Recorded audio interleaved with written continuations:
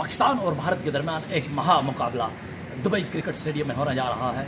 इस हवाले से आपको बताते चलूँ कि बैटिंग लाइन का कंपैरिजन करते हैं पाकिस्तान टीम इंडिया और टीम पाकिस्तान के दरमियान। टीम इंडिया में इस वक्त दो बैट्समैन ऐसे हैं जो जो टीम इंडिया के लिए सूदमंद सूदमंद साबित हो सकते हैं। इनमें विराट कोहली है और दूसरे बैट्समैन रोहित शर्मा है।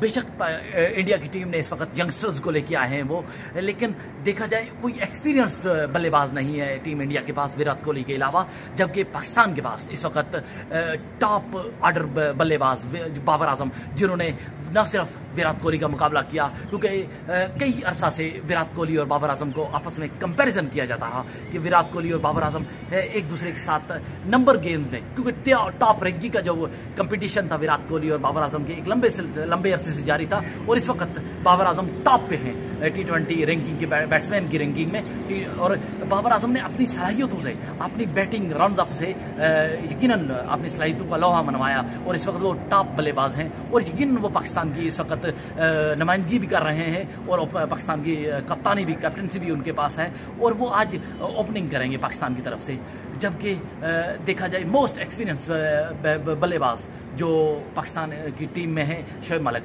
वो भी तजर्बाकार है, वो भी इस मैच में यकीनन एक प्रेशर का जो अगर पाकिस्तान की तरफ़ प्रेशर आता है, अगर बुमराह कोई विकेट ले लेते हैं और उसके नतीजे में अगर पाकिस्तान पाकिस्तान टीम की बैटिंग लाइन अगर मुश्किल मुश्किल का शिकार होती है तो यकीनन शेब मलक ही वो वाहिद पाकिस्तान के खिलाड़ी हैं जो पाकिस्तान टीम को प्रेशर से निकाल सकते हैं।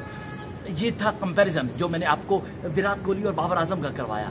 क्योंकि इस वक्त देखा जाए क्योंकि बाबर आज़म की एक एज भी कम है विराट कोहली की इस वक्त। विराट कोहली का दस साल का एक्सपीरियंस और यकीनन बाबर आज़म बाबर आज़म का विराट कोहली की नस्बत कम एक्सपीरियंस है। और इस वक्त बाबर आज़म की जो बैटिंग लाइनअप थी बैटिंग का जो उन्होंने जो अपना लोहा बनवाया अपनी सलाहियतों से यकीनन उन्होंने अपनी मैनेजमेंट को खुश किया और कोचेज ने उनको सेलेक्ट किया। पाकिस्तानी टीम की इस वक्त वो कैप्टनसी उनके हाथ में दी गई है।